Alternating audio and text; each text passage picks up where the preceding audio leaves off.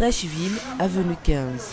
Le quartier est reconnu pour abriter en son sein un grand nombre d'usines de fabrication de pain ghanéen, communément appelé le pain sucré. Il est à peine 8 heures ce matin et déjà, le processus de fabrication de ce pain, très prisé par les Ivoiriens, est déjà lancé ici, chez Emilienne.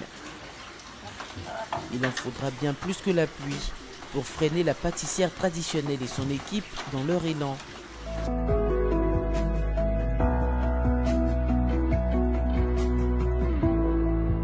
Ici, la journée débute dès 7 heures et ne s'achèvera qu'à 21 heures.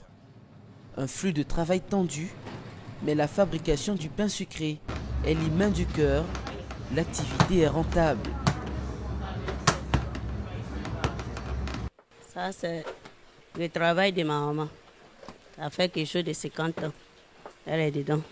comme elle n'est pas là, elle est décédée. Elle m'a reçu sa presse. Il y a mes grands frères qui sont là, mes grands sœurs qui sont là, mais chacun travaille. Il ne peut pas avoir le temps pour venir faire ce genre de travail. Donc c'est moi, je suis là actuellement.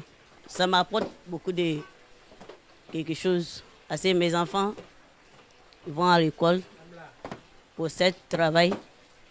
Moi-même, je suis là pour ce travail. Je fais avec le bon cœur, quoi. Par jour, ça, ça, par jour, on peut faire quelque chose de au moins 50 ou 100, 100 000. En bordure de route, en coin de rue, nombreux sont ces commerçants qu'elle ravitaille au quotidien. La qualité de son pain, son premier atout. Meilleur pain, il n'y a pas son dé. Parce que le pain là, ça peut rester jusqu'à une semaine sans gâter. Si toi-même tu veux, que tu ne manges pas. Sinon, c'est meilleur pain de Trècheville. En plus de ses employés, Emilienne bénéficie des bras valides de son entourage familial. Son époux à la logistique, Adèle sa fille qui donne de la forme au pain et à la partie technique, son fils qui vient chaque vacances scolaires du Ghana en renfort. Vous savez que de nos jours,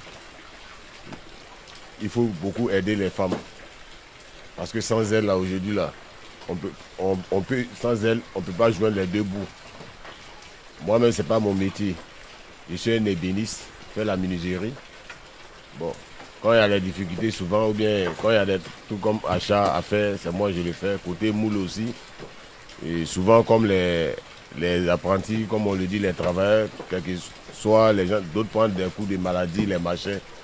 Et il faut venir en aide sur ce côté-là. Pour ce côté, franchement, je mets la main à la pâte là-bas. Bon, pour le moment, j'attends les, les du BTS. Voilà. Donc, j'en profite pour aider maman, puisqu'elle n'a personne pour l'aider. Quand je dis personne, pas que ceux qui sont ici ne font rien, mais quand il y a la main là-dessus, ça va plus vite. Bon, on va à l'école, c'est pour chercher du travail après. Du moment où il y a un métier à la maison, c'est mieux de s'intéresser à ça, vu qu'il n'y a pas trop, trop, trop de métiers dehors. Donc, je préfère me concentrer sur ça. Après les études, je vais me rabattre sur ce métier-là pour prendre la relève parce que ça rapporte beaucoup. C'est la deuxième fois que je viens du Ghana pour travailler avec ma maman. Je vois ses efforts et ça représente beaucoup pour moi. Aussi, j'évite des situations où je, je, peux aller travailler avec des entreprises et à la fin du travail de vacances et trop de difficultés à recevoir mon salaire. Moi, j'aime travailler avec elle et ça nous permet de passer du temps ensemble. En même temps, j'apprends et je gagne de l'argent. Le pain sucré, une viennoiserie à l'africaine importée du Ghana par les Fontis. Si la denrée s'arrache comme de petits pains sur les bords de la lagune ébriée, les fabricants sont contents pour l'heure, mais souhaitent à terme un encadrement de la filière pour une meilleure rentabilité, toujours dans le respect des normes d'hygiène requises.